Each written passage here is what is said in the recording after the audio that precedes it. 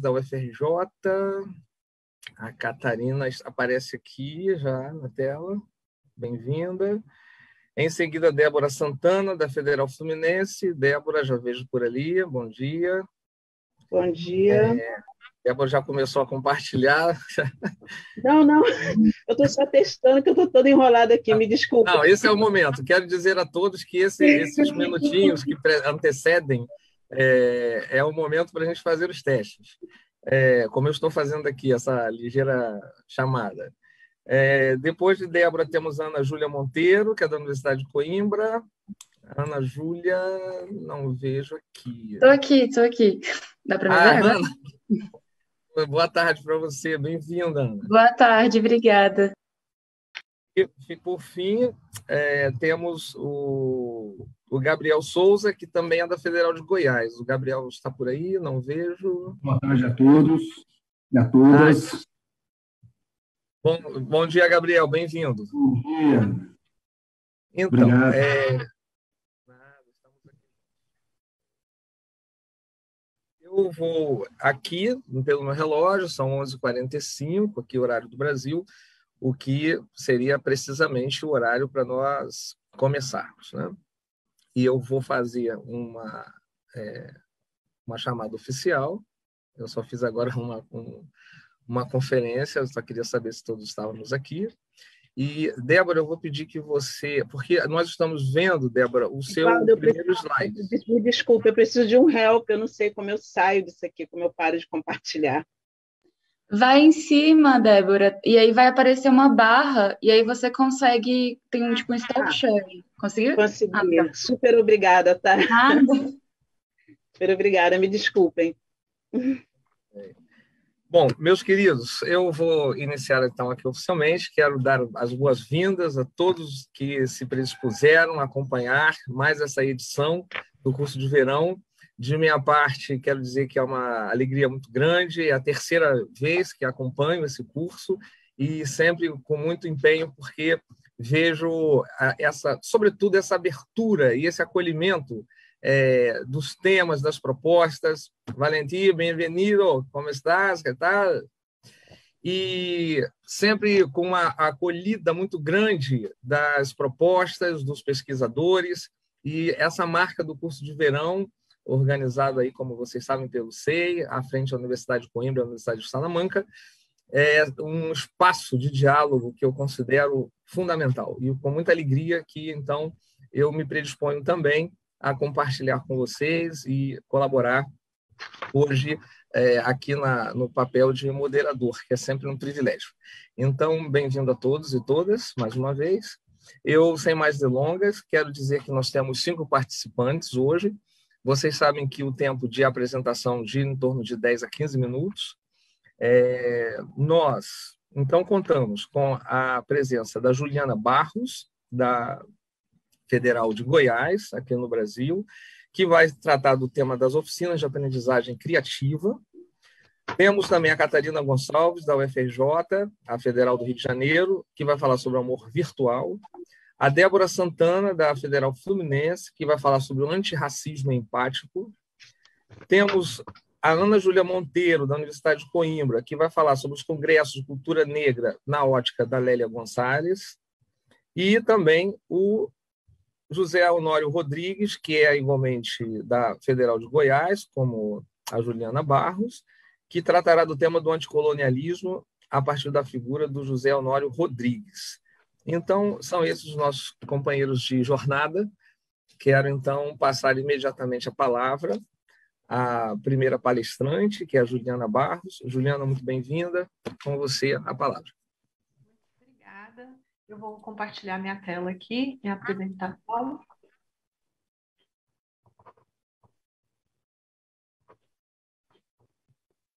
Conseguem ver? E me ouvir bem? Obrigada, boa tarde. Obrigada, professor Ivaldo, pela acolhida, por coordenar aqui o nosso painel. É uma grande alegria estar aqui, é a primeira vez que eu participo do curso. Né? Eu sou geógrafa, trabalho com a climatologia, na verdade, minha área é a climatologia, E justamente por ser uma área é, que está dentro da geografia, mas as pessoas às vezes discutem ela de uma forma muito meteorológica, sem muita conexão com que com, com outras interações, há alguns anos eu venho trabalhando, né, é, pensando formas de que essa, o aprendizado inicialmente, que era da climatologia, que ele fosse né, mais participativo, que ele fosse mais emancipador, né? Eu trabalho dentro da linha da climatologia geográfica, que busca trabalhar, pensar em como os elementos do clima se desencadeiam, mas não só isso, né? Quais são as interações, a quem esses eventos atingem, e tenho trabalhado, então, nos últimos anos com questões aí como a vulnerabilidade, justiça e injustiça ambiental, racismo ambiental, e a partir disso, é, de uma busca também de trabalhar com conteúdos que são muito abstratos para os alunos, né? então isso é lá o começo de tudo, é, surgiu essa ideia né, de trabalhar de uma forma mais lúdica. E aí o, a gente foi caminhando, caminhando, até que é, acabamos combinando para uma ampliação desse projeto, né, que não só para a climatologia, mas para a geografia, dialogando com outras áreas do conhecimento também.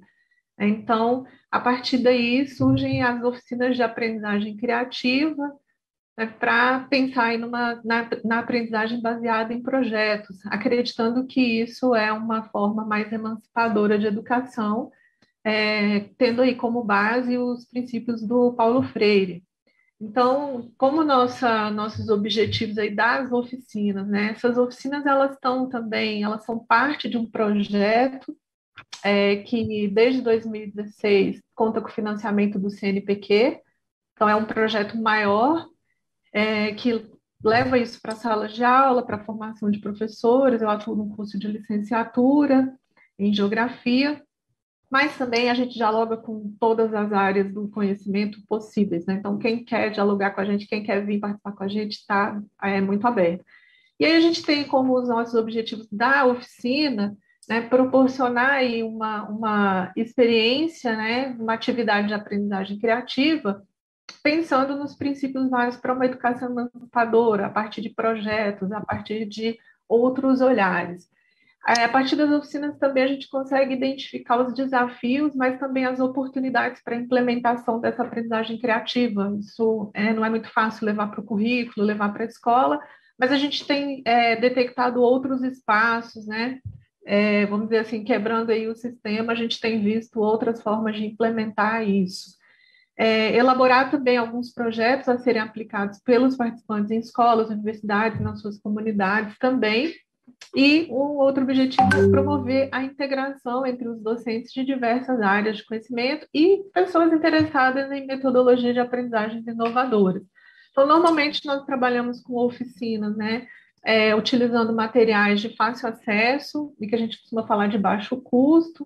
É óbvio que depois, ao longo do desenvolvimento do projeto, em função das próprias demandas né, dos participantes, a gente acabou acaba às vezes trabalhando com um pouquinho de eletrônica, um pouquinho de programação, né? No, é, ao longo do tempo a gente até adquiriu uma impressora 3D de baixo custo também, mas na universidade a gente tem né, os, os, laboratórios de prototipagem hoje que a gente pode fazer o uso. Né? Então, dentro dessas oficinas, a gente tem vários formatos aí para elas, né? É, basicamente, assim, uma oficina básica, ela dura em torno de quatro horas, quatro a seis horas, né? O problema é que a gente programa para ser quatro horas, aí é um problema bom, porque quando chega lá, as pessoas não querem ir embora. A gente geralmente tem um momento também, né? A gente sempre se preocupa com o lanche, com a integração, que seja um momento, né, que a gente possa realmente conversar. E essas oficinas, é, geralmente, a gente trabalha com a proposição de problemas, né? Então, a depender é, do objetivo do público, a gente já propõe alguns problemas, né? Então, por exemplo, pensar no, no, no mundo aí, no, né, no, no, Brasil, no que, que a gente pensaria de soluções para moradia, para transporte. E, mas geralmente a gente atende a demandas que vêm, ou então a gente propõe que eles mesmos, né, que os próprios grupos pensem em como eles trabalhariam aí os seus problemas, né? Então, algumas vezes isso é voltado para questões que envolvem o clima mesmo, mas outras vezes são questões que estão inseridas aí dentro do espaço urbano.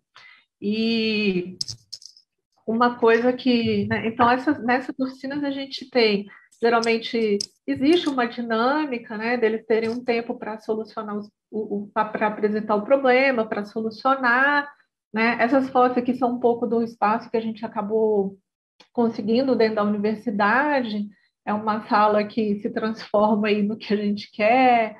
É, a gente tenta que eles, dentro das limitações, seja um espaço versátil, mas a gente tem sempre né, é, o que, que o, esses grupos trabalham, né, compartilham suas ideias, vão pensar nos processos né, de elaborar, às vezes, um protótipo para esse projeto, para essa solução, e ali eles acabam, né, se for no caso dos alunos, eles acabam tendo que estudar os conteúdos, né, porque eles acabam tendo que pesquisar como é que vou resolver um problema. Aqui em Goiânia a gente tem muito problema a gente tem dois problemas, né? No período da seca, da estiagem agora, a umidade muito baixa, né? Temperaturas daqui a pouco começam a ficar muito elevadas, e no período da chuva, inundações, alagamentos. Então, geralmente, quando a gente vai trabalhar com clima ou com problemas urbanos, são essas são coisas que surgem. Mas os temas normalmente são livres, né? Uma coisa que a gente também tem é que nas oficinas a gente não faz muita distinção de público, né, por idade, por formação, por nível de escolaridade.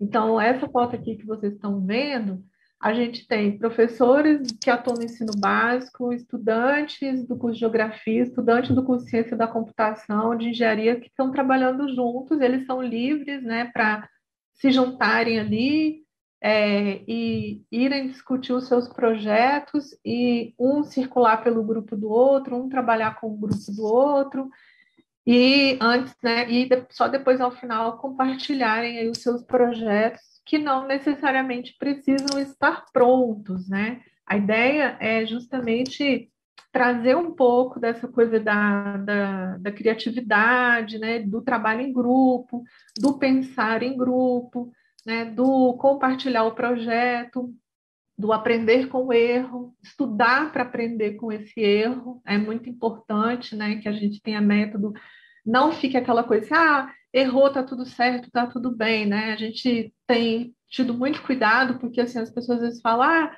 tudo bem se eu errar, eu disse, bom, depende, né, o engenheiro que vai construir um prédio, se ele errar, não tá tudo bem, né, então tem que estudar para aprender, para ver como é que vai corrigir aquele erro ali. Então, essa que a gente está vendo, por exemplo, é uma oficina em que eles queriam saber como levar isso para a sua escola e para os seus cursos, né? A partir dessa oficina, inclusive, um desses estudantes desenvolveu uma estação meteorológica de baixo custo, e agora nós, eu, a gente está desenvolvendo um projeto com o professor da ciência da computação, tanto para levar isso para as escolas, então já estamos levando essas estações para a escola, como para projeto de monitoramento do clima na cidade. Então, a partir aí, às vezes, de uma ida ao laboratório, surgem aí outras coisas, né? É, uma outra questão, quando eu vou trabalhar com a formação de professores, é como que a gente vai ensinar esses conteúdos. Então, os próprios alunos se reúnem, vão pensar nessas alternativas e depois compartilhar essas alternativas. Né? Então, esse aqui são trabalhos, por exemplo, feitos com alunos, né, e pelos próprios alunos do curso de Geografia. Nesse caso aqui, é, são trabalhos específicos. Aqui é uma outra oficina em que eles estão trabalhando os alunos do curso de Geografia com estudantes do ensino médio do Colégio de Aplicação da UFG com público externo da universidade. Então, como eu falei, a gente não faz muito essa distinção. Isso é muito rico, porque eles podem trocar, pensar nos seus problemas, pensar em soluções diversas, né? Então a gente, nós já temos aí alguns projetos que a partir daí se encaminham, né, dentro da própria universidade, que passam a caminhar sozinhos. A oficina é mais no intuito de pensar como nós somos seres criativos, como nós podemos trabalhar em grupo e como nós podemos também quebrar um pouco aí é, é, essa, esse sistema, né, essa educação que nos impõe tantas coisas, né? Então, pensar quais são os nossos problemas e o que é que nós queremos resolver e dar, promover aí autonomia para esses grupos, para esses alunos. Né? Não é fácil, dentro da sala de aula, às vezes há uma resistência sair dessa zona de conforto, mas é, conversando, conversando, ao final o saldo é positivo, né? Esse aqui, por exemplo, foi um trabalho que a gente desenvolveu no Mato Grosso, em Cáceres, com os professores, com é, estudantes do curso de licenciatura em Geografia que já são professores da rede é, de ensino público de Mato Grosso e da cidade de Cáceres também. E eles tinham esse desafio, né? Bom, se você tiver a oportunidade de resolver um problema da sua cidade, qual é o problema e o que, que você vai resolver? E aí eles foram prototipar, pensar, né, na verdade, em quais seriam esses problemas, foram estudar sobre como resolver e apresentaram aí as suas soluções. Como eu disse, né, ao final a gente, eles precisam compartilhar mas não há necessidade de que isso seja um trabalho pronto, né? A ideia é que tanto as ideias como essa forma de trabalhar seja levada para suas escolas, para suas comunidades. É, havendo demanda e necessidade, nós continuamos né, dando suporte. Então, hoje a gente trabalha bastante com alguns professores da rede, com, com pessoas, né, com, com a equipe aqui da Secretaria de Educação, Estadual de Educação, para os ambientes de formação, para, para o ensino integral pensando em formas mais lúdicas, mais criativas de lidar. Isso não prescinde a leitura, não prescinde a teoria, né? a gente não prescinde uma aula tradicional, né? A gente, inclusive, para os professores de você não tem que pensar que todas as aulas suas têm que ser assim. Mas essa é uma forma, então por isso a gente opta pelas oficinas, né, que ocorrem é, às vezes por demanda, mas a gente procura fazer pelo menos duas a três por semestre, e tem essas demandas menores, às vezes, mas tem demanda em outras cidades, em outros estados. Então, a gente já, né, já fez no Tocantins, hum, no Mato Grosso já fizemos bastante, em Brasília também, aqui em Goiânia já foram várias, né? Então, São Paulo, que tem um grupo que também trabalha um pouco com isso. Então, a gente, a ideia é que a gente tenha essa perspectiva que né, é, seja um pouco mais emancipadora, que as pessoas levem os seus trabalhos, levem suas ideias, né? Que a gente possa discutir e que essa, que essa autonomia, de, que, essa, que isso dê mais autonomia para os estudantes e para os grupos, né? Então, para resolverem seus problemas, resolverem suas questões, e não uma educação que vem de cima para baixo, que que diz exatamente o que, que eles têm que fazer, o que, que eles têm que querer. Essa é, então, esse é o nosso trabalho, então. É, eu agradeço pela oportunidade de falar um pouco, né? E depois acho que a gente vai poder conversar mais, né? É isso. Bem, é, Juliana, muito obrigado. Agradeço aqui. Nós teremos é, muito provavelmente um tempo para algumas considerações, é, colocações, sugestões, observações dos colegas. De antemão, já agradeço a Juliana, em primeiro lugar, por ter cumprido rigorosamente o tempo dos 10 minutos. A gente sabe como é difícil se controlar numa apresentação. E a gente volta, então, no tema é, da Juliana, das oficinas de aprendizagem criativa, no nosso diálogo é, oportunamente. Agora, imediatamente, eu vou passar a palavra, então, a Juliana Barros, é, perdão, a Juliana acabou de apresentar. Vou passar a palavra a Catarina Gonçalves, da UFRJ, aqui no Rio de Janeiro, que vai falar sobre o amor virtual. O tema dela é o amor virtual transcultural em contextos transnacionais. É, Catarina, muito bem-vinda e com você fica a palavra. Olá, boa tarde, muito obrigada pelo convite. Estou muito feliz de estar nesse grupo, né? Muito brasileiros, muito no contexto internacional. E o meu tema de pesquisa for, foram os casais interculturais, né, durante o mestrado. É, eu fiz a graduação em comunicação e fiz a, um mestrado na psicologia social. Eu vou compartilhar a tela com vocês para poder mostrar um pouco da minha pesquisa e o tema desse, na verdade, desse artigo, né? Que eu fiz para para a Universidade de, da ISCT. E, bom, eu vou compartilhar aqui com vocês, que eu acho mais fácil. Não sei se eu vou conseguir, mas vocês estão conseguindo Sim, já, ver? Já está muito bem, tá muito bem visualizado. Então, o tema da, da minha pesquisa, desse, desse artigo, na verdade, é o amor transcultural em contextos transnacionais. Ah, como começou essa pesquisa? Eu faço parte aqui na UFRJ, num grupo que chama Diaspotiques, a gente estuda as migrações uh, transnacionais. E dentro das, das migrações transnacionais, eu fui estudar uh, é, a, os casais interculturais e tenho e fui me direcionando para a parte de gênero. E esse artigo vai falar dos relacionamentos online, né? E nesse contexto que entre brasileiros e portugueses, né, que estão acontecendo mais frequentemente, né, tem uma, uma mudança de país muito grande de mulheres brasileiras que procuram Portugal para para uma melhor qualidade de vida, trabalho ou estudo, né? De acordo com o CEF, ah, os residentes ah, né, brasileiros têm perfil mais femininos, com idade de 30 a 44 anos. Baseado nisso, né, é, também essa, essa mobilidade ela ocorre mais frequentemente entre a classe média brasileira, não somente, né, mas devido também a uma facilidade com a língua e os benefícios em relação à proximidade entre os dois países. Né? É, eu pesquisei os dados dos aplicativos, né, dos encontros, né, o que, que acontece? As pessoas vão, e agora ainda mais com a pandemia, procurar parceiros, né, para o sexo, beijo, namoro, ou mesmo companhia, né? O, de acordo com, a, com o Tinder de Portugal, é um mercado que vem crescendo em expansão e segue a, a utilização, a, corresponde à maioria por homens, 53%, e mulheres, 47%. Os jovens representam 56% dos usuários, entre 30 a 50 anos, né? Sendo que essa média é maior por pessoas de 34 anos.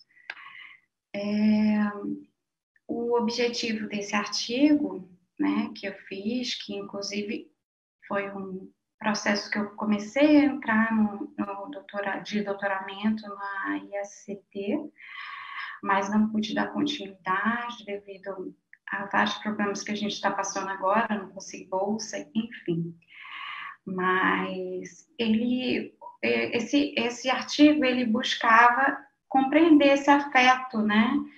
A, a, a, distância, que é um processo anterior à migração afetiva, né? Eu já venho estudando essa questão da migração afetiva, né?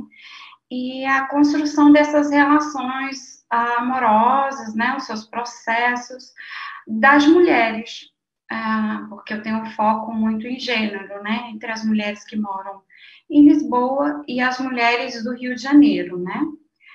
E o, objetivo era, era é, compreender como que acontecem essas práticas afetivas, amorosas no meio digital, os ciúmes, o afeto, a paixão, as questões relacionadas à fidelidade, né? E, bom, enfim, e as, revi as entrevistas, né, pretendem ser é, semi-estruturadas, aprofundadas, né, nesse contexto aí, de, de, entre as duas cidades. É, a justificativa para esse né, trabalho que seria entender como que acontece essas trocas conjugais entre brasileiros e portugueses em geral, né, e no caso, depois eu vou explicar a metodologia, no caso brasileiras em relações uh, afetivas com homens portugueses, e ao contrário, mulheres portuguesas com homens brasileiros. Enfim, é, assim, é, um, é uma prática que vem, vem, é bastante recorrente, né? É, também porque eu falei anteriormente, pela questão da língua, né? E, e essa proximidade né, do, entre os dois países, através dos fluxos migratórios que são mantidos de acordo com, com questões econômicas, né? E, e um grande fator também que impulsiona né, esses fluxos migratórios são os governos, né? Quando tem um governo geralmente de direita, esse fluxo tende a ser maior. E agora, como a gente está passando por esse período bem difícil histórico, é, e político, então o fluxo migratório de brasileiros tem, tem aumentado bastante, inclusive pessoas que, que apoiam esse tipo de política. Mas, enfim, é, também pelo processo que a gente vive histórico de colonização, né? E, enfim, aí eu peguei, esses são os dados, né, que eu não, acho que não dá, vai dar tempo de falar, mas são os dados da minha pesquisa do mestrado, né, que, que são depoimentos que as, que as entrevistadas falaram sobre como que essa relação à distância, né, antes delas se moverem ou se mudarem para outro país, né. Então, como que é essa, essa relação do relacionamento de distâncias, das dificuldades, né, dos contatos através das redes sociais, como que ele é feito, né, essa dificuldade. Uma fala assim, quando ficamos à distância, foi muito difícil. Eu vi três vezes em um ano.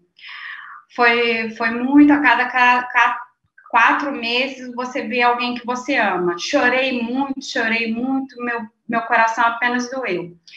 Eu nunca pensei que me sentiria assim. E economizei dinheiro porque sabia que queria me mudar para o Brasil. Você é uma das entrevistadas, né? Que é americana, que veio para o Brasil é, ficar com o marido brasileiro. Também é, não vou abordar, nesse, abordar esse assunto nesse artigo, mas faz parte da minha pesquisa. É, ela veio para o Brasil porque o marido era negro e ela, ela acha que no Brasil o racismo é menos acentuado que nos Estados Unidos. Enfim, isso é uma questão bem longa, que vai falar bastante coisa sobre o mito da democracia racial no país, enfim. Acho que as próximas, uh, é, as próximas pessoas vão falar melhor sobre esse assunto, que não é o foco desse artigo, enfim.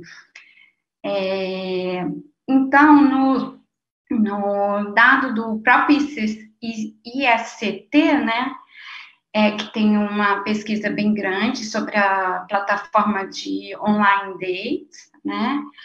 É, confirma que com a pandemia e o confinamento, né, alteraram esse processo do, dos relacionamentos online, né?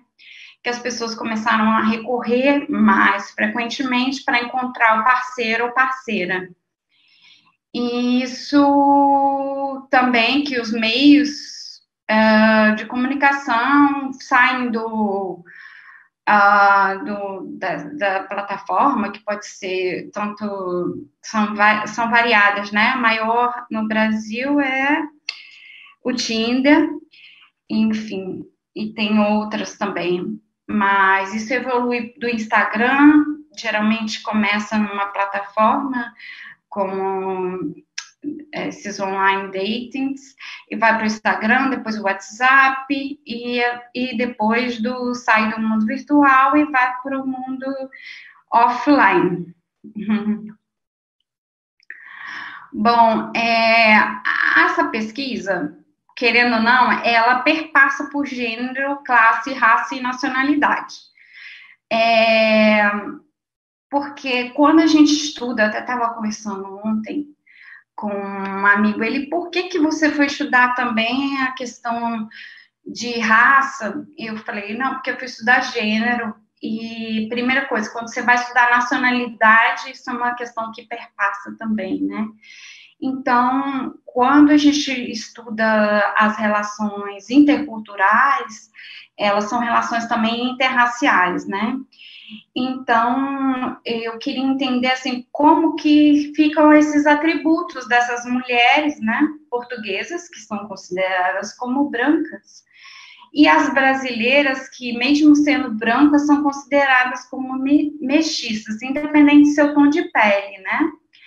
Então, como que vai configurar essas relações e essas fronteiras também dentro dessas relações, é, relacionamentos afetivos, amorosos, enfim. E, e uh, também investigar assim, como que acontecem esses, essas barreiras impostas pela relação à distância, né? e, assim, em algumas circunstâncias, algumas mulheres, é, é, essa relação pode ser benéfica para a mulher, porque ela não vai ter que renunciar a uma carreira, uma profissão, ela não vai ter que renunciar a nada em função dessas relações, né? Em relação ao trabalho, motivações profissionais, pelo menos no, no início, né? Até que um decida morar em um país ou outro, mas no início é, nenhum vai ter que renunciar né? Isso, de certa forma, pode ser é, benéfico para o universo feminino. É, enfim, a, a metodologia da, foi analisar essas narrativas, né? É, como que é feita essa e a escolha sempre foi trabalhar gênero, né? Para entender como acontece essa de forma heterogênea essas manifestações culturais, né?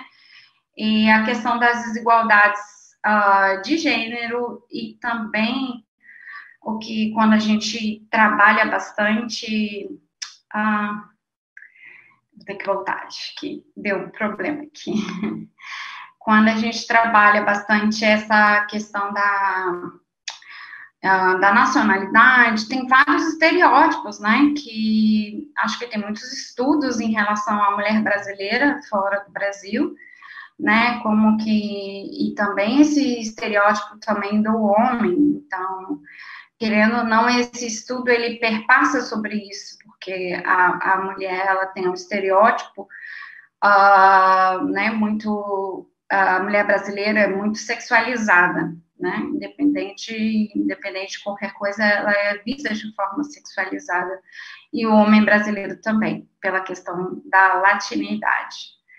Né? Então, é, esses, a, as relações à distância, elas sempre ocorreram, né, anteriormente, através, da, desde o século XIX, através das cartas, e, e as histórias de amor. Então, eu vou repensar como acontecem essas relações nos finais de semana, as negociações que são criadas, né?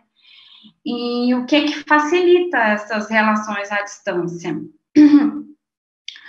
Então, como teoria, para entender isso, eu vou buscar na parte da comunicação, que é um faz parte também da minha formação, né? Como que esses meios uh, de comunicação são responsáveis por explorar a vida privada e íntima e permite que esses encontros transculturais também aconteçam mais frequentemente. Também tem os voos, né? As pessoas viajam mais, então são mais baratos, então essa locomoção ocorre mais frequentemente também e também tem o processo migra migratório, né? E enfim. É, os parceiros online é uma nova forma né, de você viver ultimamente. Eu vou basear é, a minha parte teórica numa socióloga chamada Eva Lutz também, que ela fala do tem um livro que fala do amor nos tempos do capitalismo, que fala sobre a questão do, da ausência do corpo, né, que a ausência do corpo físico, ela, não desestimula a questão da sociabilidade, né, que as pessoas podem formar é, laços nas redes, né, e, e, que, assim, essa ausência do corpo, ela pode ser encarnada de outras formas, né, pela imagem, da voz, enfim. E tem um teórico, um teórico da comunicação muito importante que, que, a, gente, que eu, a gente usa muito na comunicação, que é o Nissodré, que ele fala sobre a questão da copresença, né? Que você pode ter esse sentimento de copresença, você está presente é, online, sem necessariamente estar na mesma cidade. Então, esses, esses modos sexuais e as demonstrações de amor, elas modificam, né? Com, com as novas mídias uh, sociais. E, enfim, é, a webcam sugere a presença física, Então, Com licença, Catarina, eu só vou pedir que você se encaminhe para a finalização devido aos outros três colegas que precisam apresentar. Obrigado. Ai, desculpa, então eu vou passar aqui a parte teórica. Eu não sabia que eu tinha passado o tempo. Me desculpa. Então, é, esse trabalho foi feito sobre a, a, essa motivação de pessoas que, que, estão em busca em recriar essa nova forma de intimidade, como jantar junto no espaço Zoom, né, que acontece online. Então, a minha hipótese era essa, né, de como são, são demonstrados esses sentimentos e como isso não difere do, do passado. É, é, o continente virtual se transformou no novo espaço de amor na contemporaneidade, mesmo para aqueles que não compartilham o mesmo território. Eu quero agradecer a todos. Desculpa se eu passei o tempo, se eu fui muito além. É uma pesquisa que eu venho desenvolvendo e tenho uh, muito carinho por ela. Agradeço. Um, deixa eu voltar aqui para para descompartilhar a tela. Ok. Enfim, Catarina, já foi? Sim, sim, voltou tudo normal. Muito obrigado, Catarina, pela sua belíssima pesquisa.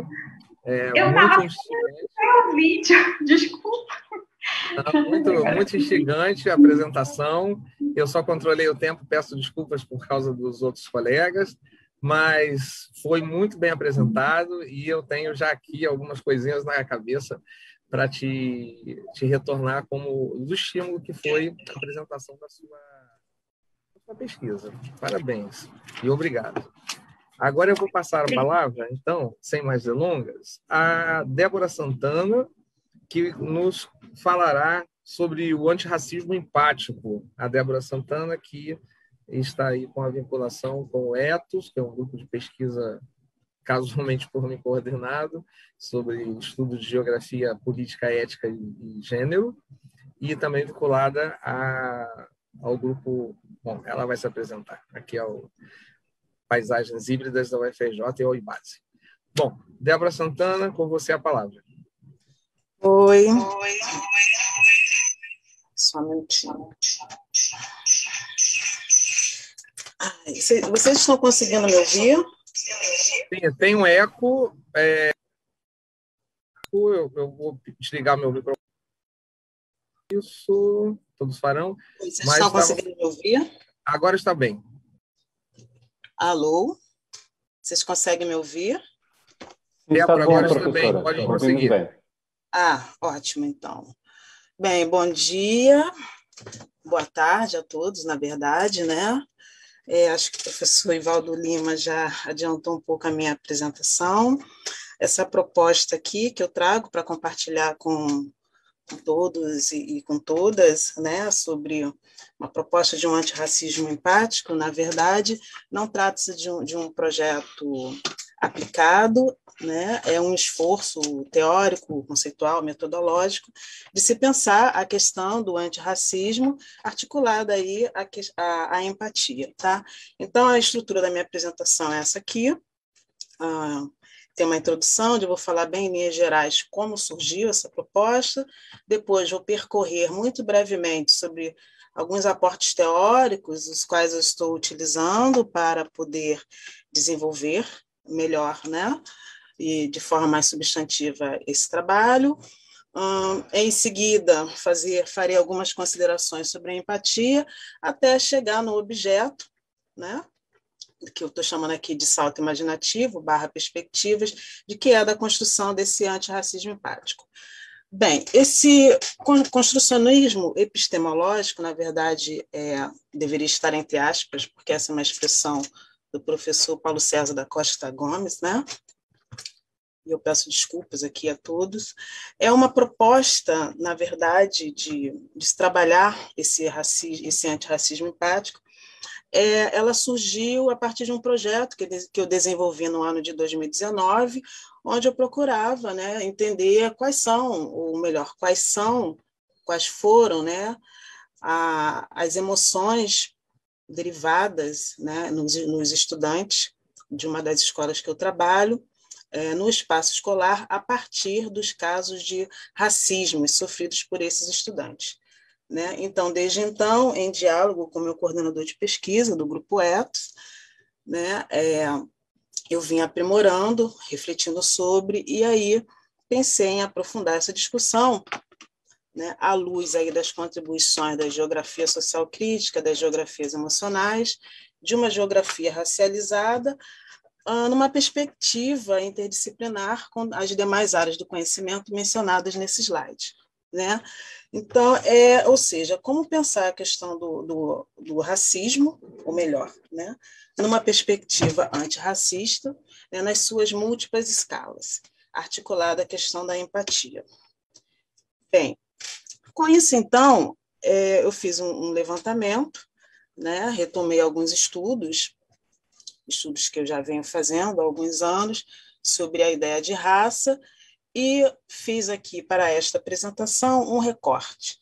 Né? Então, aqui eu estou trabalhando essa ideia de raça no seu sentido moderno e dialogando muito com Aníbal Quirrano, que nos coloca aqui, em seu sentido moderno, não tem história conhecida né, antes da América.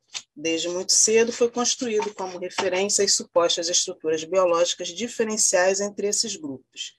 A formação de relações sociais fundadas nessa ideia produziu na América identidades sociais historicamente novas, índios, negros e mestiços, e redefiniu outras. E na medida em que essas relações sociais, né, que se estavam configurando, eram relações de dominação, tais identidades foram associadas às hierarquias, lugares e papéis sociais correspondentes, como constitutiva delas e, consequentemente, ao padrão de dominação que se impunha. Em outras palavras, então, podemos dizer que raça e identidade racial foram estabelecidas como instrumentos de classificação social básica da população. E, com o tempo, os colonizadores codificaram como cor os traços fenotípicos dos colonizados e assumiram né, esses traços como a característica emblemática da categoria racial com a expansão do colonialismo europeu, o resto do mundo conduziu a elaboração da perspectiva eurocêntrica do conhecimento e, com ela, a elaboração teórica da ideia de raça, como naturalização dessas relações coloniais de dominação entre europeus e não europeus. É, numa perspectiva histórica, então, isso significou uma nova maneira de legitimar as já antigas ideias e práticas de relações de superioridade barra inferioridade entre dominantes e dominados. É, e dentro dessa perspectiva, então, eu, eu criei aqui um recorte para ressaltar de que forma né, a imagem do negro ela foi sendo forjada como alhos. A, a origem latina do nome outro, né, ela é bifurcada. Ela pode tanto significar o alter, né, e o alhos, sendo que o alter é aquele que corresponde, o significado corresponde ao diferente, ao dessemelhante, enquanto que o alhos corresponde ao sentido de estranho, daquele ameaçador. Uh, desde a antiguidade, vários escritos, né, várias pinturas, enfim, vários relatos, sempre descreveram a, a, tanto o continente africano quanto o continente asiático né, como sendo ocupados né, por raças monstruosas. Então, eram muito comuns as figuras, né, com homens com, com apenas um pé, com orelhas enormes, enfim, seres monstruosos.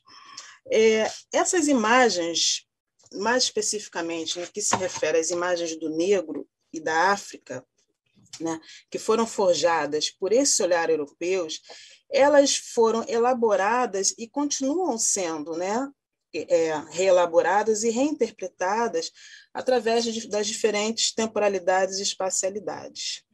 É, desde sempre, os europeus enxergavam o preto como marca do mal e da depravação humana, e não podiam entender que houvesse povos portadores de uma cor que era motivo de grande inquietação. Né? é, dentre inúmeras coisas que se falava, dentre as inúmeras é, associações pejorativas atribuídas aos corpos negros, né, inclusive buscava-se até explicações é, com bases científicas, nós sabemos, é, muitos de nós e muitas né, conhecemos muito bem o que significou o, o racismo científico, né, nessa perspectiva de, le, de legitimar todo esse processo de negação do reconhecimento do negro como legítimo. Bem, esse imaginário do ser negro, ele foi expresso em vários documentos escritos e também várias representações artísticas, onde esse par dialógico das cores branca e negra passaram, branca e preta, né, barra negra, passaram a significar, no caso branco, a divindade, né, ou algo de Deus, a luz, a harmonia, a beleza suprema, a perfeição e a inocência, né? o sublime, a felicidade. Em contrapartida, né, era associada à cor preta, como ainda é muito recorrente nos discursos né, atuais, contemporâneos, tudo aquilo que diz respeito ao mal, aquilo que é considerado ruim. Né? Então, se a cor branca era atribuída a esse signo de divindade, a cor preta era atribuída o signo do espírito de mal, né? É, o signo trevoso, do caos, da feiura, do vício, da culpa, do pecado, da degradação moral, de uma cor nefasta que indica tristeza. E aí eu coloquei aqui para ilustrar né, uma imagem de um quadro clássico do Botticelli, né, lá do século XV, que é o Nascimento de Vênus, e, do outro lado, esse mesmo quadro, só que ressignificado a partir de um trabalho de uma pintora, de uma artista visual afro-cubana, que é a Harmonia Rosales, onde ela tem feito todo um esforço de fazer uma, uma releitura, né, problematizar, questionar todas essas produções artísticas né, que reiteravam o, as, o racismo e as práticas e ideologias racistas. Então, ela, tem, ela pega algumas dessas obras icônicas, clássicas, né, e representa corpos negros nessas obras, entendeu? Bem, é, essas representações, essas ideologias, esses imaginários, né, que foram conformados, eles seguem se reafirmando e a depender, né, da, das diferentes localidades, ele também segue aí sendo perpetuado com toda a força, onde, infelizmente, o Brasil é um desses, né, constitui um desses casos, entendeu?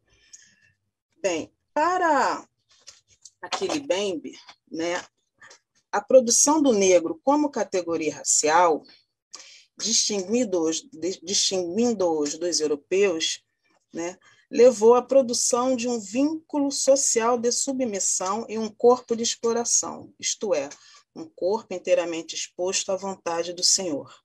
Essa forma de poder dominante, segundo Bembe, inscreve-se não somente no corpo dos seus submissos, mas também deixam marcas no espaço que eles habitam e cicatrizes no seu imaginário. E aí, pensando nessa questão do espaço, né, e fazendo um recorte aqui para o Brasil, Basta nos remetermos às imagens das favelas e das periferias urbanas. Né? O racismo, então, ele vai se constituir de uma forma genérica como uma ideologia de dominação. Né? Ele constitui, então, uma efetivação no plano das temporalidades e das espacialidades de todas as ações humanas que se fazem de modo diferenciado no que se refere à submissão do outro o racismo, enquanto doutrina, se materializa como aversão, ódio, desprezo e, consequentemente, o não reconhecimento da humanidade, sobretudo, sobretudo de pessoas cujo pertencimento racial se distancia da matriz branca europeia. Assim, aos negros indígenas e alguns grupos étnicos asiáticos são atribuídas características como inferioridade moral, intelectual, cultural e psíquica.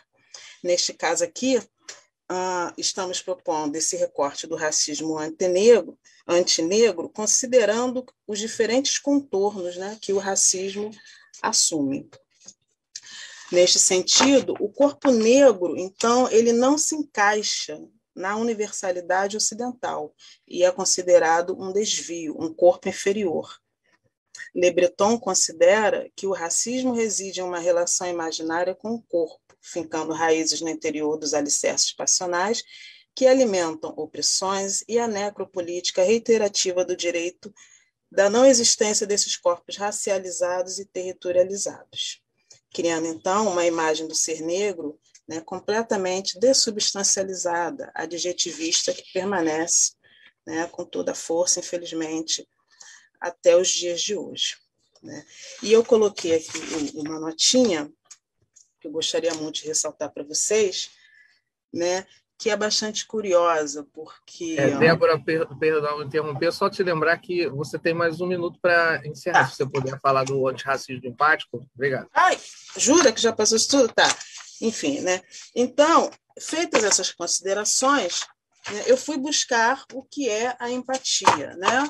A empatia aqui entendida como esse pôr-se na pele de outra pessoa, trazendo também essa empatia, né? essa ideia que não é nova, mas que no início do século XX se tornou uma ciência estabelecida, a partir de três perspectivas: dessa empatia cognitiva, da empatia afetiva e desse interesse empático.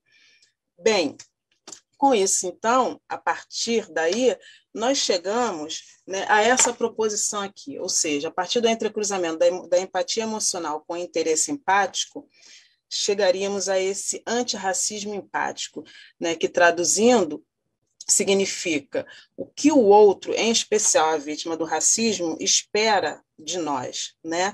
Então seria uma transição do sentimento e da cognição à ação isso nos leva a afirmar, então, que não basta não ser antirracista, conforme disse a Angela Davis, né? que é preciso praticar o antirracismo empático. E com isso a gente fecha, trazendo aqui um ideograma Sankofa, que significa olhar para o passado, para ressignificar o presente e construir o futuro, e uma, uma frase aqui, um textinho da Lélia Gonzalez, né, onde ela diz que todos nós, na verdade, né, temos que nos unir nessa luta irmanados, respeitando as diferenças que nos separam. Então, era um pouco isso, peço desculpas pelo quase estouro do tempo, e depois no debate a gente pode falar de algumas outras questões que não foram possíveis.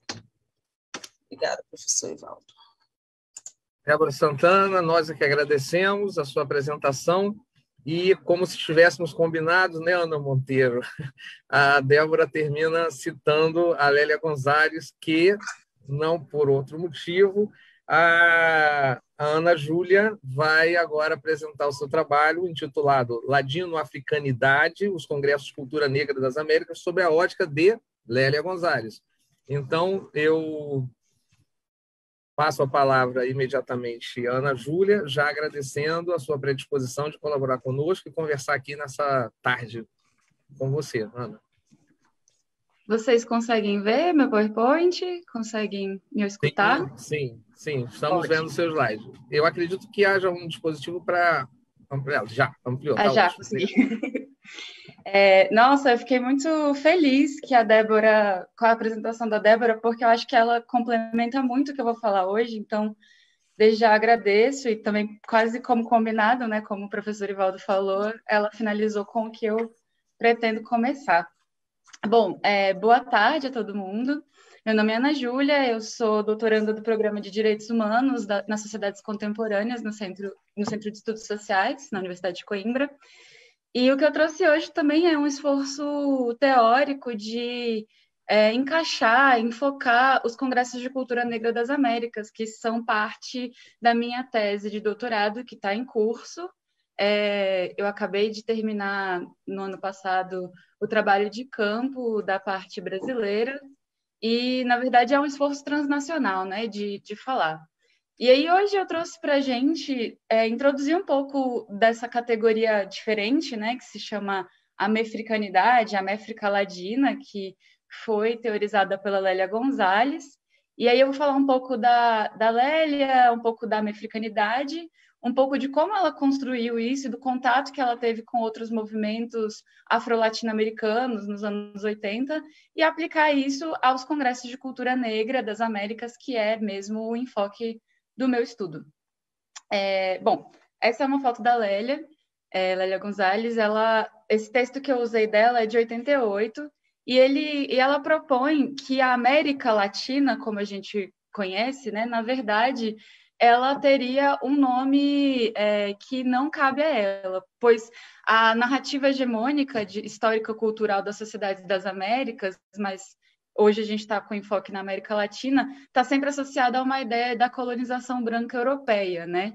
Só que essa narrativa hegemônica, ela na verdade esconde um racismo e o racismo ele vem como sintoma. Então, quando a gente vê narrativas no Brasil como democracia racial ou é, em outros contextos latino-americanos, estados pluriculturais que se apropriam da, da herança africana, da, da herança dos povos da diáspora africana, é, a gente, na verdade, está é, negando, ou como ela pega emprestado da psicologia, denegando uma ladino-americanidade. Ela faz esse jogo de palavras, né? Que seria a junção de América com África, e o ladino seria a sagacidade que foi necessária a esses povos para sobreviver, não é nem viver, sobreviver dentro do contexto de dominação, onde o racismo, como a Débora até mencionou, serve como ideologia de dominação, né?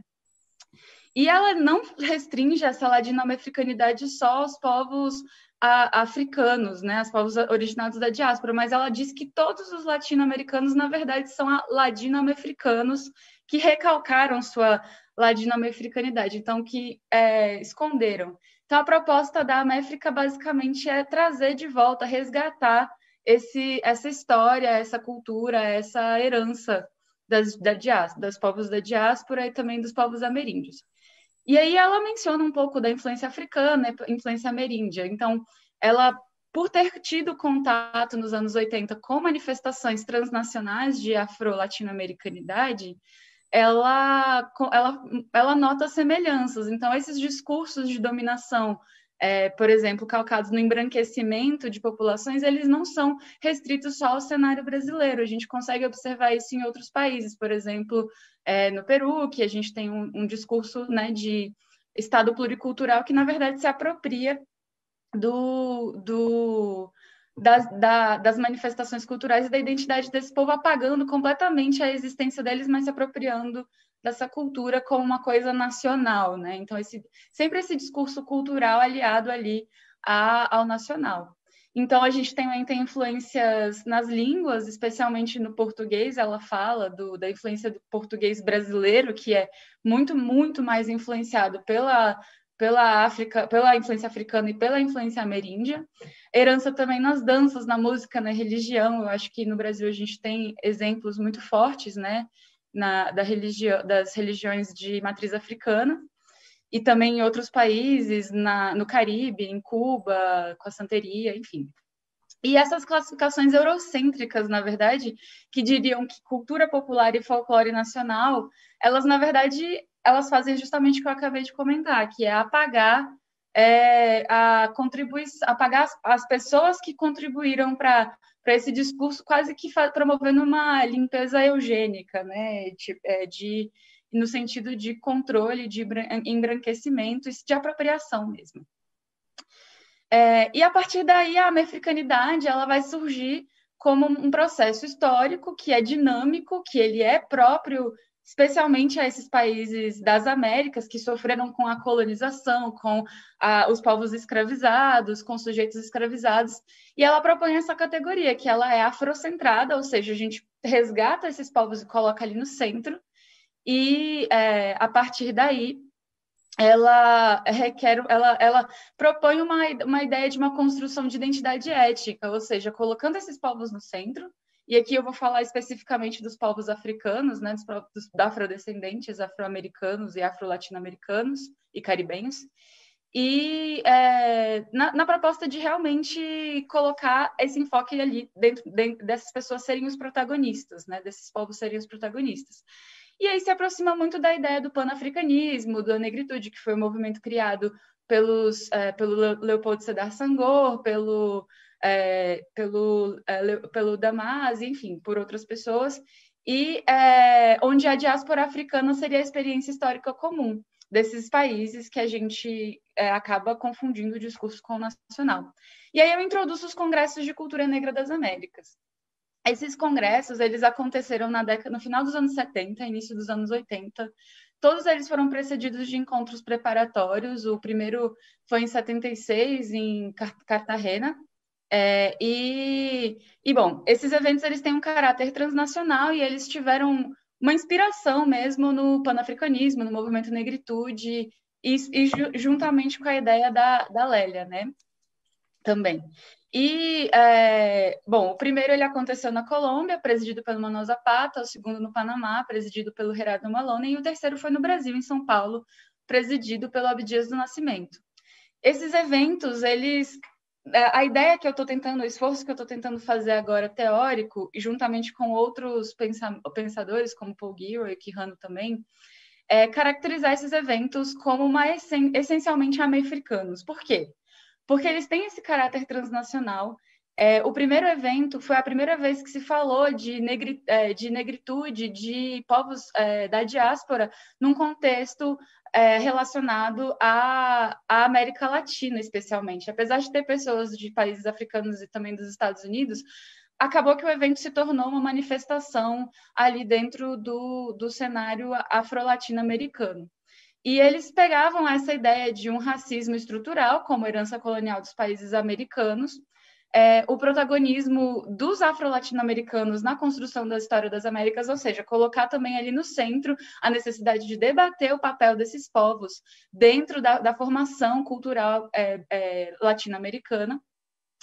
E, e, também, já no terceiro congresso, porque foi uma evolução, né, esses debates. O primeiro implantou a ideia, o segundo pensou como combater, e o terceiro já vai falar um pouco das ferramentas de combate ao racismo, como criar centros de estudos é, afro, afro-latino-americanos, ou afro-brasileiros, afro-colombianos, é, e ele também permitiu perceber que essas, esses, essas ideias que ali estavam restritas no contexto nacional e local, na verdade, porque muitos desses países também estavam em contextos ditatoriais, né, que também falavam de, de democracia racial e, enfim, muito calcado nessa ideia da miscigenação e da ideia de gerar um, um, um novo, né, um novo nacional, é, que invisibilizava e piorava ainda mais a desigualdade dentro da, da comunidade da população negra, é, foi permitir que esses, refer esses referenciais, essas reflexões fossem circulados. Então, o contato que afro-brasileiros, afro-equatorianos, afro-colombianos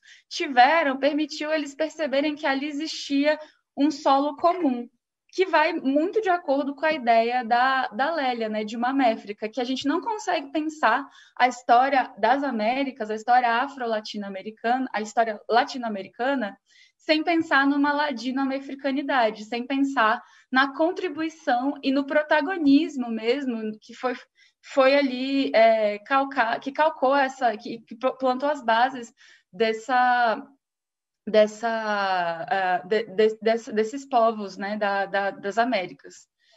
E, bom, para finalizar, não sei se eu ainda estou no tempo, que eu não contei, mas eu trouxe uma. E tranquilamente, fala... Ana. Tá tranquilo? Ótimo. Eu trouxe um, um excerto do, de um texto que eu descobri recentemente, fiquei inclusive muito feliz de encontrar ele, porque Manuel Zapata, ele estava, ele é afrocolombiano, né, antropólogo, ele médico de, profissão, de, de formação, mas antropólogo de profissão, ativista é, do, antirracismo, do antirracismo na Colômbia e num contexto é, das Américas, ele comenta um, como se fosse um pós-terceiro congresso, e na iminência de fazer um quarto congresso que não aconteceu. Esse quarto congresso estava previsto para ser em Granada, porém Granada foi invadida pelos Estados Unidos e impossibilitou a, a realização desse, desse congresso, mas na intenção de arranjar um, um lugar para fazer, eles falam um pouco de como foi é, essa experiência, né? É, ele comenta que essa insurreição animava os jovens afro-americanos da década de 70, então a gente vê uma animação mesmo e, e um, uma fagulha que, que é plantada ali no interior daquela bolha, porque não deixava de ser um ambiente restrito a, a uma a, uma, a, um, a um pessoal que era ativista, às vezes acadêmico. Então, ainda assim, dentro da população negra que estava falando daque, daquela, daquela temática de antirracismo, e ainda nem com esse nome, né, da luta contra o racismo, estava é, muito restrito a uma, a, uma, a, um, a uma, uma elite, de certa forma, né? E a ideia nunca foi ficar restrita a essa elite. Era, sem, era ter um exemplo dos anos 60 norte-americanos, era plantar uma fagulha para é, ter uma insurreição completa dentro da sociedade. E, bom, é, as vozes da negritude, ela, elas chegam nessa, nessa bolha, mas elas não chegam em outros lugares. Só que ele ainda comenta o impacto de um outro congresso que aconteceu, que não foi em solo americano ainda, que eu considero que foi o ponto de partida, porque foi ali que muitas dessas pessoas se conheceram de contextos é, diferentes da, da América Latina, como Ana Zapato, Clóvis Moura, Nicomé de Santa Cruz, do Brasil e do Peru. É, ele mostra como essa movimentação ali em solo africano é, implantou uma semente em solo america, é, a, americano, americano, é, de despertar para falar sobre essa contribuição e colocar a população negra no enfoque, resgatar a história, resgatar a cultura e, enfim, promover essa essência americana, ladino-americana de fato. E com isso eu finalizo a minha apresentação. É, muito obrigada, gente.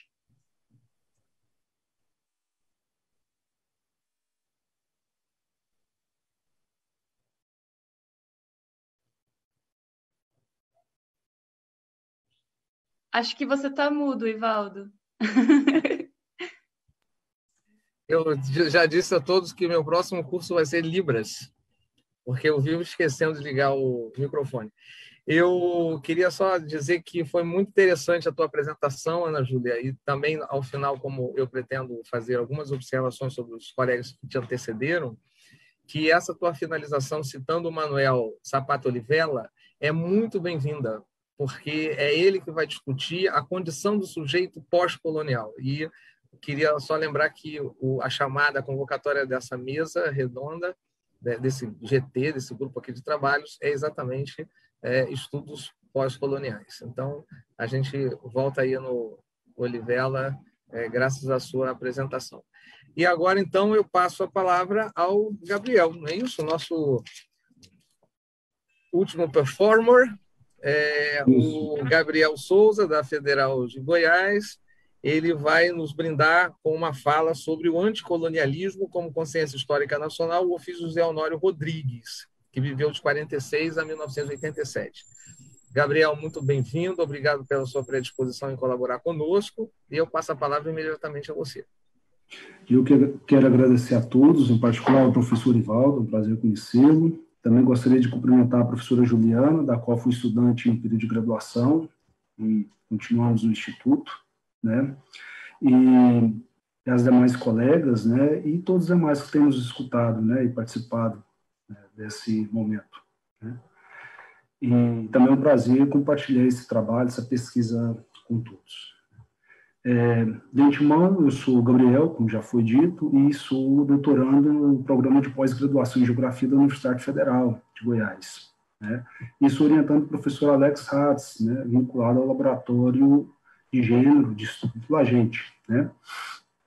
E, basicamente, o meu trabalho ele consiste a partir de um, de um pequeno ensaio que eu desenvolvi, né, para uma disciplina de, da antropologia, do curso de pós-graduação em antropologia social, né, que era a ressignificação de acervos e museus, né, e monumentos, né, basicamente com uma síntese, né, era esse campo temático. Né.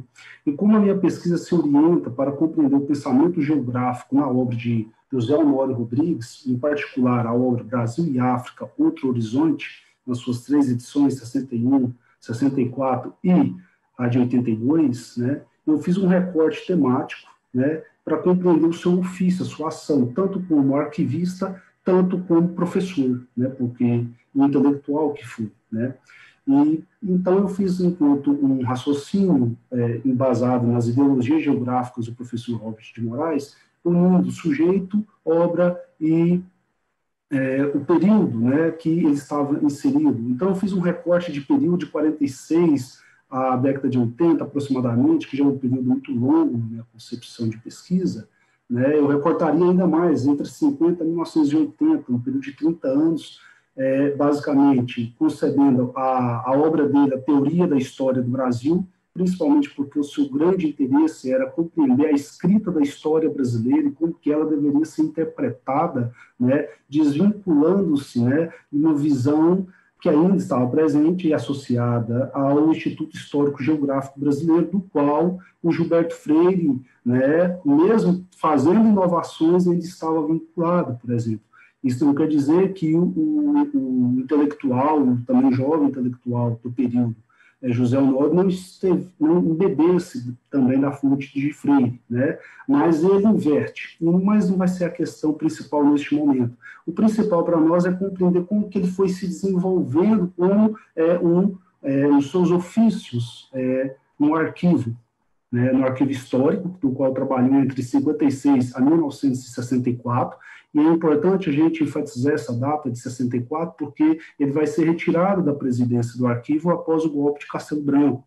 Anteriormente, mesmo na época que é, ele vai ser desligado, né, ele próprio se desliga do, é, da Escola Superior de Guerra, do qual esteve vinculado anteriormente como, como é, estagiário, e depois foi trabalhar é, como professor também, né, como civil inserido nesse contexto. E também do Instituto Rio Branco, do qual esteve é, vinculado desde a década de 40, desde 46, 47, né, como o professor Freixo esclarece. Então, para nós, o que é mais importante é a perspectiva do arquivo, a perspectiva de é, documentação, a perspectiva de instituições públicas e salvaguarda desses documentos, desses monumentos, desses patrimônios que vai ser construído. E isso ocorre principalmente que ele está inserido num processo de é, transformação das instituições públicas do Brasil após 1930, em particular do Estado Novo.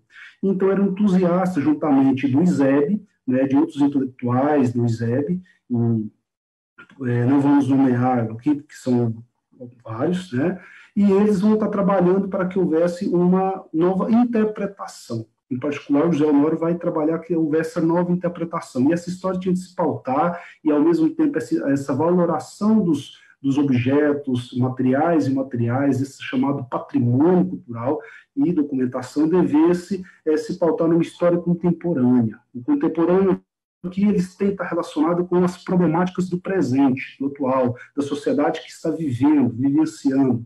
Então, ele vai pensar sempre de um, de um aspecto de cultura e política. E esse vai ser o grande entremeado da sua obra, em particular Brasil e África, Outro Horizonte. Então, no contexto nacional, nós teremos essa transformação, seja dessa paisagem, nessa consciência espacial que está é, transcorrendo, e eu uso esse, esse conceito do professor Robert Moraes com muito cuidado, né, principalmente que é inicial o estudo, né, e é, Tal como no contexto internacional, nós temos que ele está inserido nesse contexto, né, e ele está problematizando, principalmente relacionado ao Instituto Rio Branco, né, das políticas é, externas independentes, que é a questão da descolonização afroasiática. E ele vai ser um dos cofundadores, né, juntamente de Maria, Maria, Maria Eda Linhares, né, e outros, o Cândido Mendes e outros intelectuais, né, é, do IBEA, Instituto Brasileiro de Estudo Afroasiático, né, na década de 61, no governo Jânio Quadros. Né? Então, é, nesse contexto, ele vai estar fazendo uma correlação entre o nacional e o internacional, mas também ultrapassando aquela leitura regionalista localista, provinciana, que a historiografia brasileira ainda estava pautada. E é muito importante que ele faz isso a partir de um contexto de horizonte, acima de tudo. Né? Então, ele está vendo um horizonte que eu, compreendo, e é algo que eu estou desenvolvendo, que é no contexto da paisagem, como está tendo essa transformação da dinâmica da paisagem e compreendendo isso também enquanto uma ação também de transformação do território. Claro que isso é uma, uma fala minha, né? É, ele não é tratar com esses conceitos, que são conceitos geográficos, não quer dizer que não vá até a geografia, né? para compreender essa dinâmica. Pierre Mimbé é citado na sua obra de 1961, né, e mesmo nas subsequentes obras, que ele faz correções e transformações editoriais, que é de 64 e 82 ainda permanece, a referência, né? E algo interessante no contexto nacional é que ele observa as transformações locais, né? É, locais no sentido no panorama nacional, né? Então nós temos aqui é, a, a transformação patrimonial, né, seja orientada pelo Ministério da Cultura, né, da Educação da Cultura, pelo Gustavo Capanema do período, né, que vai criar museus, e o Museu de Ouro Preto, vai transformar o Museu das Missões e outros, mas também vai observar a manifestação, né, o fenômeno, por exemplo, da criação do Museu do Negro, né, no Brasil, para o Dias do Nascimento, né? Ele vai observar, por exemplo, o Museu do Inconsciente, da imagem do inconsciente, Nilza de Oliveira. Eu, eu tenho dúvidas ainda em um certo aspecto, e aqui eu tenho é, ressalvas. Né? E também é, ele vai estar inserido, ele vai estar observando, por exemplo, o Museu do Índio, que Darcy Ribeiro vai estar sendo um dos, tomando frente, né?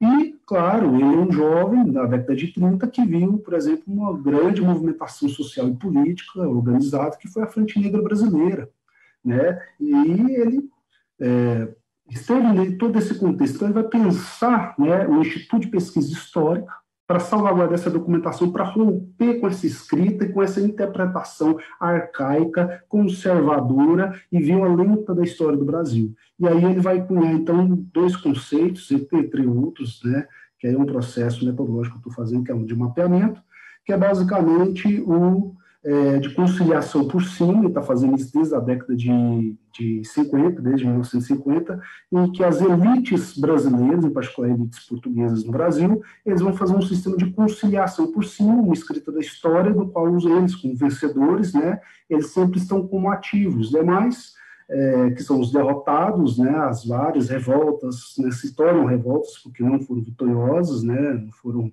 revoluções, as vários é, levantes, né, com o mesmo propósito, vão ser tidos é, como algo que sai um pouco da ordem somente, né, mas que a história não mais foi pacífica, e ele rompe com isso, e aí é o seu antifreirianismo, exemplo, de forma muito sutil, principalmente que se torna ideologia de Estado a partir de 64, mas em particular com o governo de Costa e Silva, que intensifica isso, e com Geisel, né, passando por Médici.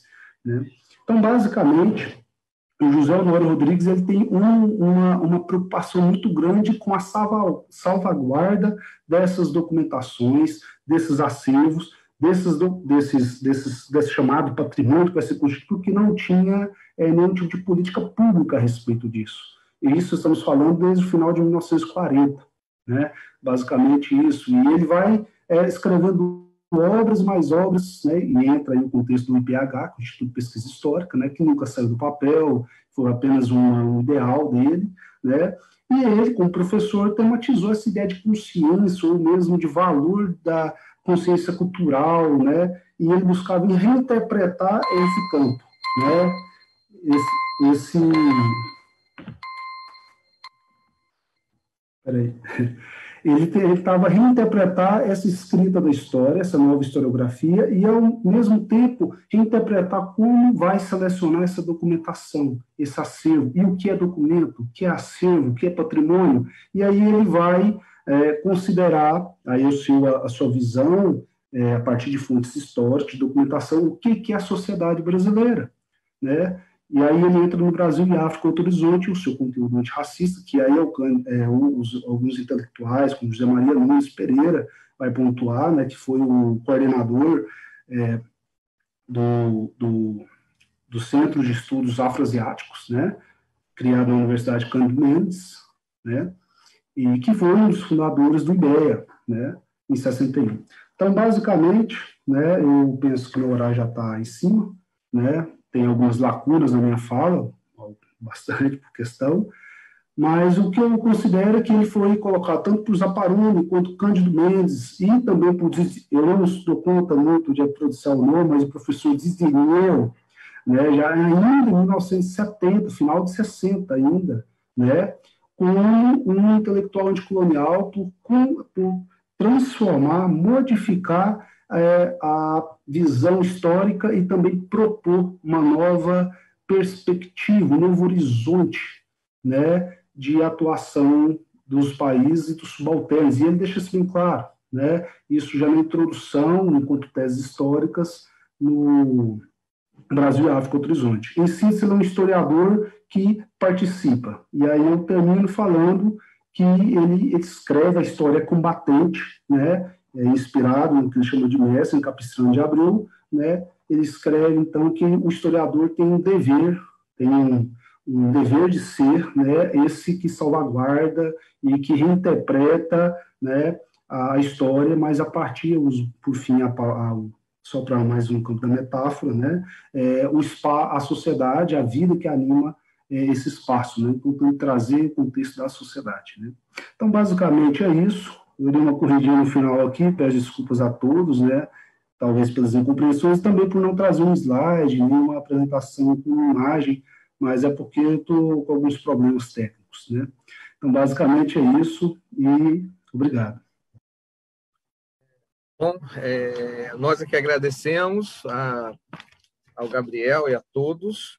É, eu vou aqui somente agradecer a, o respeito que nós tivemos com o tempo de apresentação e com isso chegamos nessa possibilidade que eu acredito que seja a, um momento mais relaxado, sobretudo para os que apresentam suas comunicações, de ouvir e alguns retornos. Então, a gente teve essa possibilidade. Agora temos aí uns 15, 20 minutos para fazermos essas considerações. Eu vou pedir licença para tomar a liberdade de começar por essas observações. Eu não sei se a, a Juliana está aqui conosco ainda, mas quando a Juliana estava apresentando as oficinas criativas, uma das coisas, Juliana, que me pareceu muito interessante é, como um enquadramento desse trabalho, dessa experiência que vocês é, têm na Federal de Goiás, é se vocês poderiam pensar no enquadramento disso que estão realizando muito magistralmente com a ideia de conhecimento poderoso desenvolvido pelo Yang na, na área específica da educação geográfica. E é muito interessante quando ele vai retomar alguns apontamentos que nós conhecemos bastante já, é, como aprendizagem significativa, em que o sujeito, que é o, o aprendente, ele traz um conhecimento prévio daquele problema. E o conhecimento poderoso, ele vai partir exatamente dos problemas reais. E aí eu achei muito interessante como você diz, nós partimos de alguma problemática, né? Você falou muito bem, você disse, olha, é a moradia, é a mobilidade, é, a questão é, ambiental, e aí desses problemas muito concretos enfrentados pelas pessoas, eu tive a impressão, emergem as oficinas. Então, se é isso, eu queria que você é, fizesse uma consideração, se você é, puder, dessa possibilidade de vincular a, a, experiência rica das oficinas criativas com o conhecimento poderoso, porque eu acho que aí a gente fica muito no espírito de uma perspectiva pós-colonial. E é isso que eu queria dizer, já agradecendo a contribuição de todos, que essa perspectiva pós-colonial é a perspectiva que instaura outra angulação para a leitura de velhos problemas. E essa outra angulação, como diz o Boaventura Souza Santos, não é a busca de alternativas, é o apontamento de uma alternativa às alternativas. De toda forma, então, quando se fala num estudo pós-colonial, está se falando de uma perspectiva de superação. E vocês, e sobretudo a, a, superação do ponto de vista epistemológico, né? Então é uma é uma contra-epistemologia que, que se busca. Então queria agradecer, fiz esse comentário para para Juliana e já que eu falei de contra-epistemologia, eu vou diretamente é, conversar com a, a Ana Júlia, porque a Ana Júlia terminou brilhantemente a fala dela recuperando o Manuel Sapato Olivella, e é ele que usa essa expressão contra epistemologia, né? e vai falar do sujeito pós-colonial. Então, eu acho que o diálogo da obra e da perspectiva da Lélia Gonçalves, como você a recupera nos congressos, que ela está ali muito presente e dando alma àqueles congressos, com essa perspectiva da contra-epistemologia, acho que seria assim um passo muito avançado e muito criativo nessa sua pesquisa de doutoramento. E aí eu te recomendo, caso você não o conheça, o professor Cleman Acassi. Sobrenome se escreve A-K-A-S-S-I. E é o professor Clemã Acassi quem mais vai se aprofundar na obra do Manuel Zapata Olivella, e ele que vai trabalhar essa perspectiva decolonial a partir da África e não a partir da perspectiva andina, que é a perspectiva mais conhecida do Aníbal Quirrano, do Walter Miolo, do Arthur Escobar, do, de todos que nós é, estamos muito familiarizados aqui no Brasil.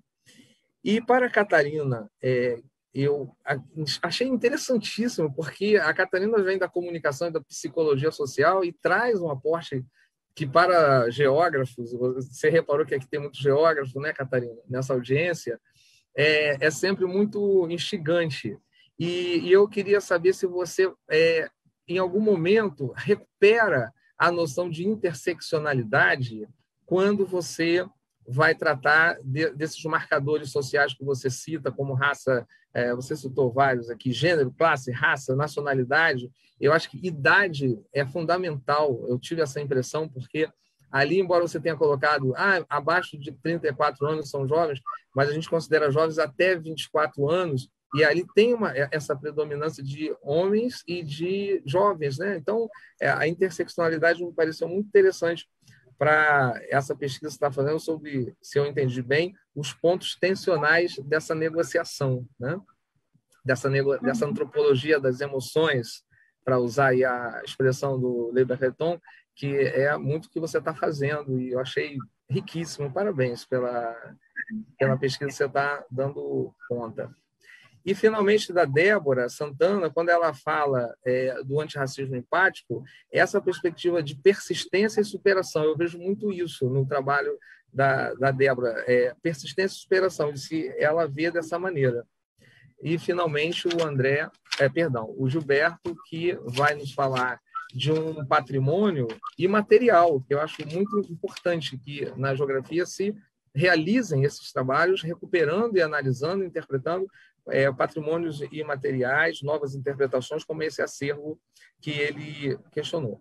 É, Catarina, a Elaine deixou no chat para você, não sei se você viu, ela pergunta: Catarina, você diferenciou as mulheres brasileiras dentro do caráter étnico-racial?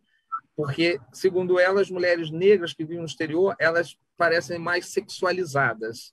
Ela te fez essa pergunta. E o Gilberto endereçou uma pergunta à Ana Júlia, ele diz: é, Olha, eu, como preto, estudo indígenas. E você, Ana Júlia, já te perguntaram como é que surgiu o interesse pelo tema? Foi a pergunta do Gilberto. Então, fiquem muito à vontade. Eu daria a palavra para, na ordem que foi as, foram as apresentações, a Juliana Barros. Ok. Obrigada mais uma vez. E aproveitar aqui para falar aqui os trabalhos também dos colegas, o colega Gabriel, como ele falou, né, foi meu aluno na graduação. E estamos hoje aí também trabalhando no mesmo laboratório. E as apresentações das meninas foram ótimas também, estava aqui fazendo várias anotações. E obrigada pela sua, pelo seu apontamento, né, Aldo, porque realmente acho que esse, esse processo, né, de pensar essas oficinas, isso tudo foi um processo, foi uma construção de muitos anos, né? Já, já vai aí mais uma, de uma década dentro dessa construção. E é, a noção de conhecimento poderoso, eu acho que ela cabe muito bem, né? Porque a nossa ideia é justamente pensar o saber é, para que ele se torne também, né, para que ele se construa é, de uma forma socialmente organizada, né? Porque eu acho que é assim que a gente vai caminhar mesmo para essa para essa decolonialidade, para esse pensamento decolonial. E sempre levando em conta, né? Nas oficinas, uma coisa que a gente leva sempre em conta é esse conhecimento prévio e a ideia delas é que para que esse conhecimento, esse saber, essa aprendizagem, ela realmente tenha significado, né? Que não seja só despejar aqueles conteúdos, né? De novo, como eu falo, não numa lógica, sabe, do tipo assim, ah, isso não serve para nada, né? Eu nunca usei tal forma, né? Eu nunca fiz isso, porque alguém usou aquilo depois, né? Às vezes está numa sala de aula, você apresenta, as pessoas vão usar, outras não vão. Né? Você não pode, acho que, furtar as pessoas de aprender, mas que esse conhecimento, ele se engaje, né, de alguma forma, em algumas questões. Então, essa noção né, do conhecimento poderoso, muito bem lembrada por você, né? Ficou aqui já a contribuição do curso. Eu acho que é, é para aí que a gente caminha mesmo, sabe? Para pensar, porque tudo que a gente trabalha é, é, é, dessa forma, inclusive a própria construção das oficinas, tudo isso é pensado dentro do nosso projeto com a construção de toda a equipe, né? Que tem estudante de graduação, tem estudante de pós-graduação, tem, tem professores da rede, tem colegas da universidade, e desde a gestão do nosso espaço, o cuidado do nosso espaço, até os passos da oficina, como que isso vai é, acontecer, é tudo pensado de uma forma muito coletiva e que faça sentido para todo mundo. Então, acho que o caminho é esse mesmo. Assim, fiquei é, bem feliz com a sua com a sua ideia aqui para nós, né, com o que você trouxe aqui. Ótimo, Juliana, muito obrigado. Eu passo a palavra então, de recuperar aqui a ordem. A segunda fala foi da, da Catarina. Catarina, por gentileza. Oh, agradeço muito, achei muito interessante o trabalho, fazer parte desse estudo pós-colonial. É, na psicossociologia, a gente tem batido muito à frente sobre a questão da pós-colonialidade. Gostei dos trabalhos de Lélia Gonzalez e vários autores, né, que e acho interessante essa questão da interseccionalidade, é uma, um ponto que eu venho estudando. É, eu acho que é, falta mesmo falar sobre essa questão da geração, né, para diferenciar, que é um outro ponto, né, da interseccionalidade também. É, acho que a, a, as mulheres brasileiras, né, quando elas estão fora do contexto, né? É, Brasil, elas são sexualizadas, mas não isso isso é, não, não se compara à questão que as mulheres negras sofrem no Brasil com a questão da sexualização, como os homens negros também são, são mais sexualizados, né? Catarina, que, me, per, me permite, perdão te interromper, querida, eu só quero fazer uma, correção aqui do que a Elaine te perguntou, ela só reafirmou aqui no chat que, de fato, ela diz as mulheres negras são sexualizadas estando ou não no seu país. Porque em algum momento eu disse as que moram no, estrangeiro. E ela reafirmou aqui no chat isso que você acabou de dizer. Só para afinar é, que a Elaine, na pergunta dela, ela vai nessa direção mesmo, que as mulheres negras elas passam ah, por uma, uma, um processo de sexualização estando ou não no seu país. Desculpa. É. Sim, Sim é, é, eu estava até falando, tentando ir nesse raciocínio, que inclusive no Brasil as mulheres negras são mais solitárias do que as mulheres brancas, pela questão mesmo do racismo, né, que é estrutural, e também na escolha das relações afetivas, que muitas vezes os homens negros escolhem as mulheres brancas para se relacionar. Então, aí também tem uma questão que é, é, não é nesse trabalho, mas eu venho estudando a questão interracial também dentro dessas relações. Então, realmente é um, um processo mais difícil. Mas as brasileiras fora do país têm esse estereótipo, como os homens também, né?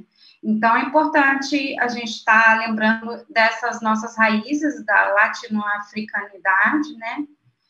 E e achei interessante o debate. Acho que eu não sei se eu consegui explicar, mas é isso que eu acho que as mulheres negras sofrem mais, com certeza, né, nesse, nessa questão. E talvez fora do país eu não tenho estudo sobre isso para falar, né?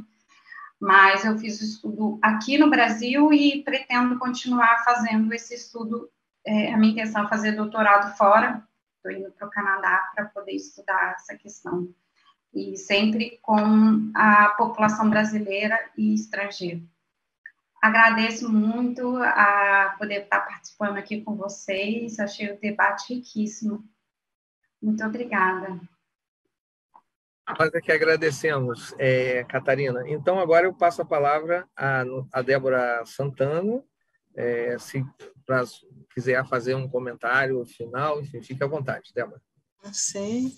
Não, primeiro, falar da minha felicidade de ter participado dessa mesa. Realmente foi muito bacana, né? Peço desculpas pela apresentação meio truncada, estou aqui vencendo o cansaço, né? Mas, enfim, acabou dando certo, né? E Ana, fiquei até aqui pensando assim, acho que encontrei uma antirracista empática aqui, né? Se tivéssemos combinado, talvez não teria dado tão certo, né? Porque eu, eu assim, tenho resgatado leituras né, de textos da Lélia Gonzalez, muitos eu já conhecia, mas aí com o passar do tempo foram se perdendo.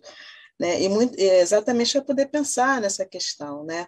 Então, a, a, de fato, a proposição professor Ivaldo, né, de um antirracismo empático, onde os diálogos com você foi, foram muito profícuos, né, e me incentivaram cada vez mais a, a continuar, assim, a, né, não é a continuar, a ter fôlego para levar né, essas discussões adiante, é, porque na condição de mulher negra, periférica, egressa da Baixada Fluminense, eu já nasci, antes mesmo de eu nascer, eu já sofria, né, o, os impactos do racismo estrutural e todas as suas variantes na pele.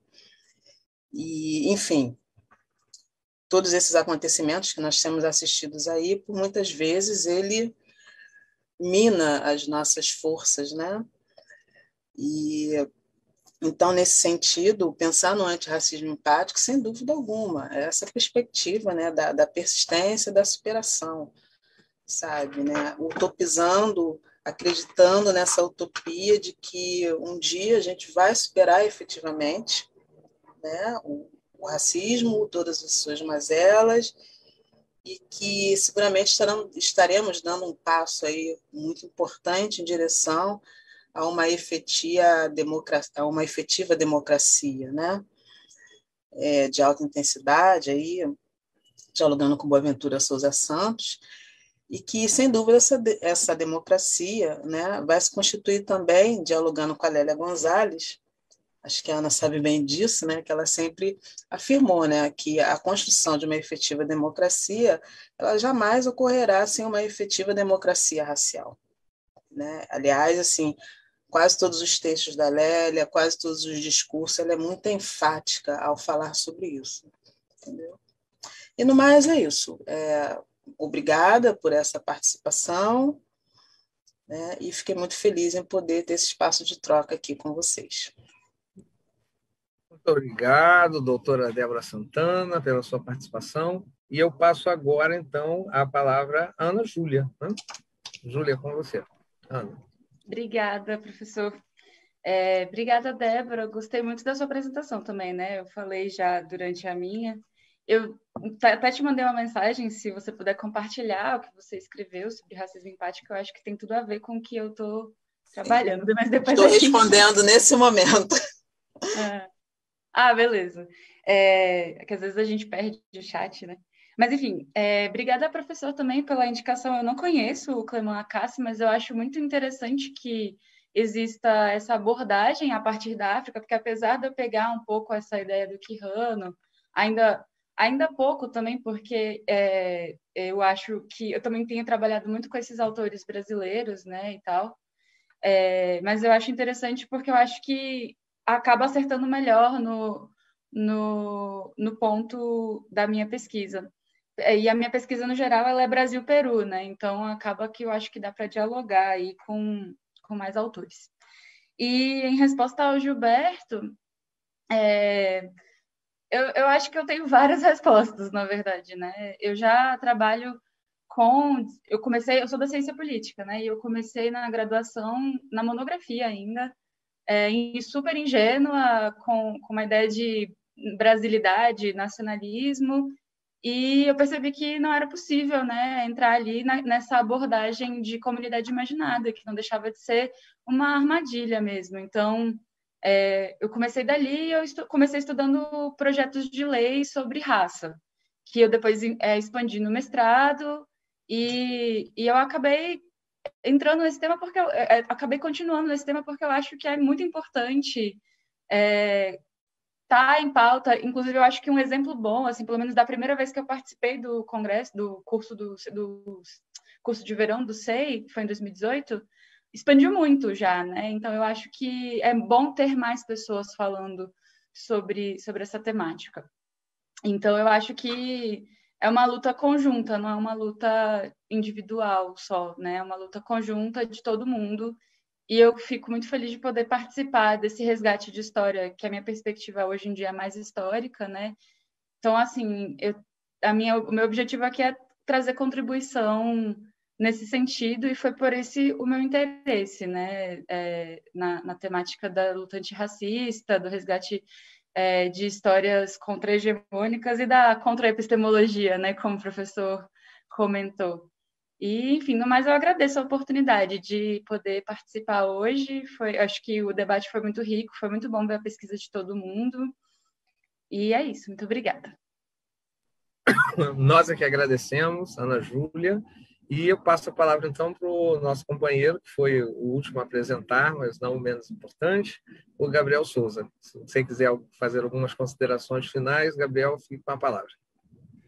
Gostaria de agradecer a todas e a todos, né? É muito bom ter essa oportunidade de, trocas de ideias, de compartilhamentos, né? Onde nós podemos estar avaliando, né? É, as lacunas né, das nossas ideias e também é, das nossas falas, né? Então, para mim é muito gratificante esse momento, né? Que não é, pelo menos eu como professor de ensino básico, que é, em Goiânia é, não temos esse espaço, né, professores de ensino básico, né? Tão acessível, né? Em particular, só quando temos mesmo, estamos mesmo na universidade, né?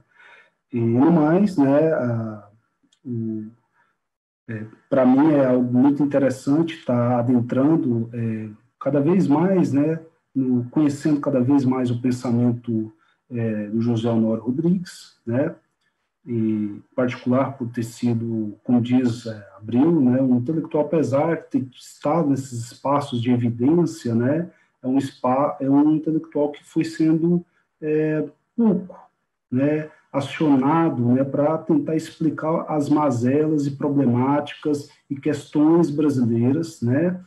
Tantos outros, né? Isso eu vou até rememorar uma fala do Darcy Ribeiro, é, que a ditadura promoveu isso em 64, naquele, né, o expurgo onde Josué de Castro, Milton Santos, né, e outros mais, né, sofreram, né? E é interessante que no final dos anos 50, o pioneirismo desses intelectuais, né, e é muito interessante, é muito é, rico, né? E, por sua vez, estiveram na Europa com um processo de exílio, e alguns de alto exílio, e outros que se afastaram de instituições, que foi o caso de Honório, né? E que foi, saiu dos seus cargos e tudo, né? e basicamente teve alguns orientandos, alguns orientandas, né? Atravessados pelo seu pensamento, né? Em particular quando ele era convidado a fazer suas falas é, nos centros de estudos africanos, né, afro-orientais, na Bahia, né, e também em São Paulo, é, o próprio é, né, CA, né, no, no, na Cândido Mendes, né, onde ali ele poderia compartilhar seu pensamento, suas ideias, né, mas no mais ele foi um intelectual é, que não foi tão inserido no contexto universitário, né? poucas vezes, né? em particular na PUC do Rio. Né? Então, essa é a minha fala, né? e que é, eu observo o seu discurso, né? como já havia dito, né? seu pensamento né? dentro das suas obras. Né? Mas é isso e obrigado a todos. Então é isso, meus queridos. Eu vejo aqui a presença do José Brusaquela. Não sei, Zé, se você está aí, mas seja muito bem-vindo aqui no nossa, nosso debate. Tudo bem? Tudo bem, Valdo. Estava aqui me deliciando com as exposições e as discussões. Uma maravilha, me preparando para substituir, para logo em seguida. Né? Vem, vem a tua, né? Painel. Meus parabéns a, a, todos né, pela qualidade das exposições. Professor tá Valentim, prazer, professor. É. Saludo. Então, muito bem, meus queridos, agradeço a todos muitíssimo pelas apresentações, pelas pesquisas que estão encaminhando com brilhantismo, com maestria. Desejo aos que são doutorandos que obtenham muito êxito na finalização de seus trabalhos aos demais, que eu vejo aqui são os doutorizinhos já todos já bem encaminhados. É, desejo uma boa sorte a todos, muito cuidado nesses tempos pandêmicos, né, como dizem os franceses, na réalité covidienne, vamos tomar todos os protocolos possíveis e agradeço muitíssimo, encerrando aqui essa, essa manhã no Brasil, essa tarde em Portugal.